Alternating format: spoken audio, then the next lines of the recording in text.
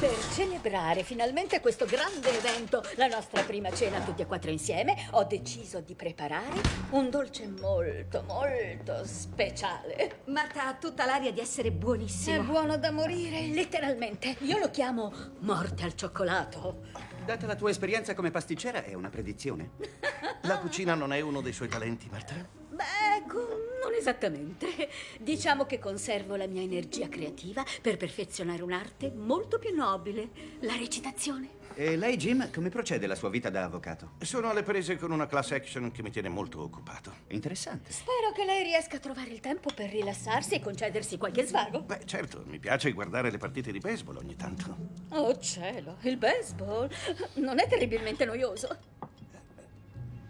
In effetti richiede una certa dose di pazienza. Una certa mancanza di brio, vorrà dire. Credo che mio padre apprezzi soprattutto la peculiarità del gioco. Oh, beh, certo, devo ammettere che ha anche i suoi Mia madre pregi. intendeva dire che non è esattamente movimentato. Certo, ma dipende da che punto di vista lo guardi. Sì, suppongo che sia uno sport adatto alle persone più serie, più perspicaci. Jim, potrebbe spiegarmi che cosa significa? Soltanto che gli attori per natura non sono le persone più serie del mondo, giusto? Ah, è così che la pensa? Non mi considera una persona seria? Che ne direste ora di tuffarci nel dessert?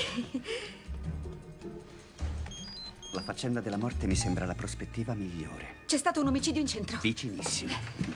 Mi dispiace, ma dobbiamo andare. State attenti voi due. Sì, anche voi due. Dico solo che ci sono state cene peggiori. Sì, quali? La scena della cena in Alien, per citare un esempio.